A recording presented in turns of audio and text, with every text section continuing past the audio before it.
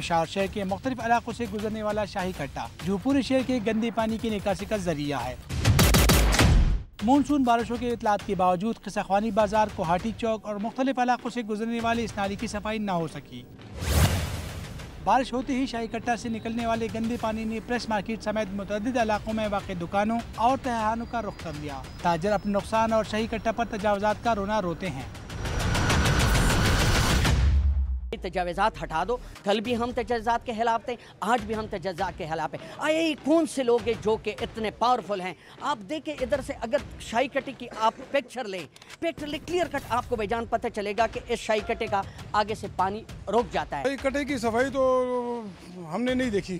پہلی گورنمنٹ میں بھی نہیں دیکھی اب اس گورنمنٹ نے تو بالکل ہی نہیں دیکھی۔ دکانیں ہیں وہ بھی سب سے بڑا رکاوٹ ہے۔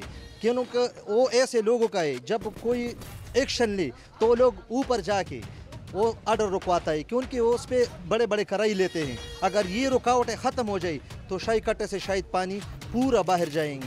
بارشوں کے بعد صفائی کی ذمہ دار نجی کمپنی کو ڈیڑھ ماہ بعد شاہی کٹے کی صفائی کا خیال آ ہی گیا۔ ٹاؤن ناظم پشاور کے مطابق بارہ سو ناجائز دکانیں شاہی کٹے پر بنی ہیں، لیکن وہ شہریوں کو بے روزگار نہیں کرنا چاہتے۔